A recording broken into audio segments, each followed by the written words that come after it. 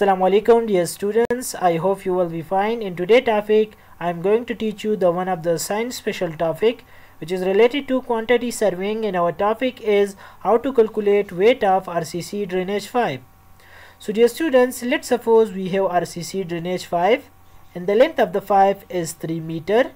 And dear students the internal diameter of this drainage 5 is 700 millimeter. And dear students the external diameter of this pipe is 800 millimeter. So now dear students to calculate total weight of this pipe if we multiply total volume of the pipe with the density of pipe so we can get the total weight of this pipe. So now dear students to calculate total volume of this pipe if we multiply total area of this pipe with the length of the pipe so we can get the total volume of the pipe. So now dear students to calculate total area for this file, we have a formula that pi by 4 external diameter square minus internal diameter square.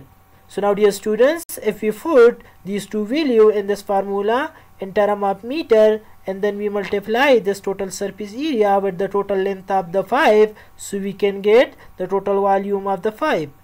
So now dear students, we can easily calculate total weight of this pipe if we multiply total volume of this pipe with the density of pipe. So we can get the total weight of pipe.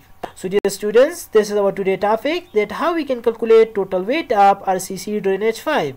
So dear students, I hope you will be learn something new from this lecture. If you have any question related to this topic, please comment on my channel. I will try to reply your answer. So see you in next video. Thanks for watching. Allah Hafiz.